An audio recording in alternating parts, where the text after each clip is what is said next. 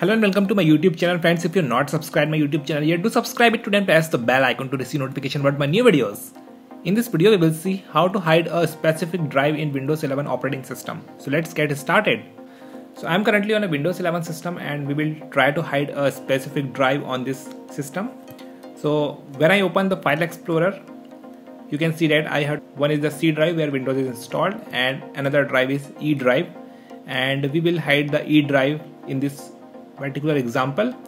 And if I right click on the E drive you can see that there is no direct option to hide a drive in Windows 11 and you have to rely on the registry method to uh, hide this drive. So let us see what process you have to follow to hide this drive. Simply right click on the start button and select run. In run window type regedit and click ok. When the registry editor window opens go to H key local machine software Microsoft Windows current version policies explorer. When you arrive to explorer registry key in the corresponding right pane, right click and select new and then select dword value. Name this newly created registry dword as no drives. Write it exactly as shown in this video. Once the registry dword has been created, it has value data 0 and when it has value data 0 this means it will show all the drives which is the default case. But if you want to hide a specific drive you have to use following value data. You can find out these value data in the video description. So you can use the value data specific to the drive. For example in this case we will hide e drive. So we have to use the decimal value data 16 in case if you want to hide all drives you have to use this specific value data but it is not recommended to hide all drives. So you can uh, alternatively hide a specific drive and for different drives the different decimal value data has to be used. So for hiding the e drive we will use 16 value data. First we will select the base decimal and then we will type the value data 16 and click ok. Now the no drives registry dword has value data 16 now we will close the registry editor and we will check with the file explorer.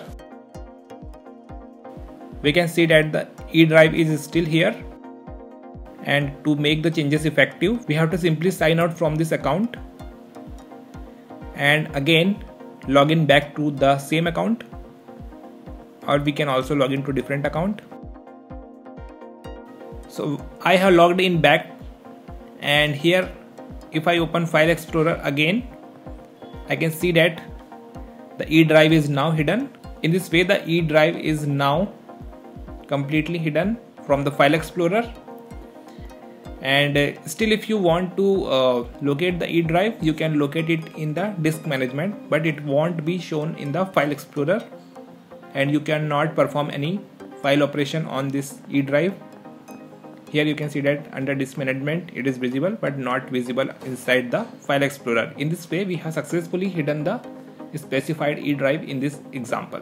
You can hide any drive on your system using this video guide and how to unhide your hidden drive. Simply right click on the start button and select run. Again type regedit. Go to the same registry location H local machine software Microsoft Windows current version policies explorer and in the corresponding right pane of explorer registry key we have the no drives registry dword which we created earlier we have to simply set it to 0 value data so that all drives can be shown on the system. Or alternatively you can simply right click on the no drives registry dword and simply select delete. Click yes in the confirmation prompt and in few seconds the registry dword will be deleted. And you have to simply restart the system to make changes effective. And after this all drives will be shown again on your system so this is how you can hide or unhide a specified drive in Windows 11 operating system.